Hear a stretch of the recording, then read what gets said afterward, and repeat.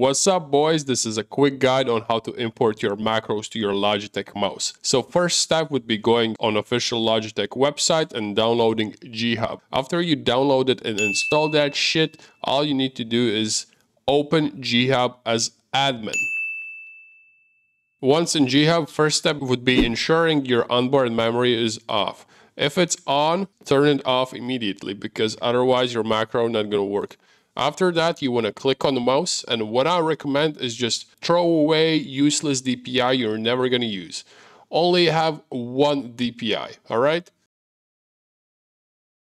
After that, just lock your DPI profile, then click on assignments.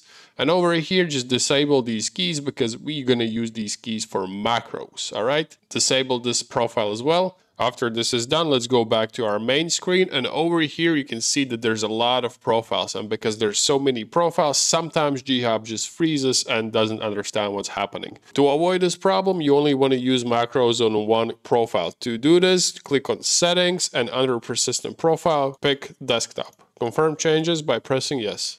After that, go to games and applications.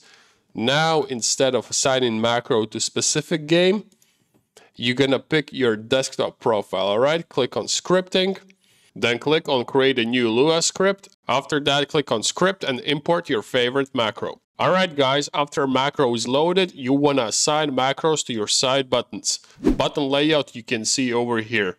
For this example, I have assigned my macro to mouse button 5. After you have assigned yours, click on script, save and run. Now, whenever you press side button 5, you activate macro. To use macro, just press and hold right click and left click at the same time.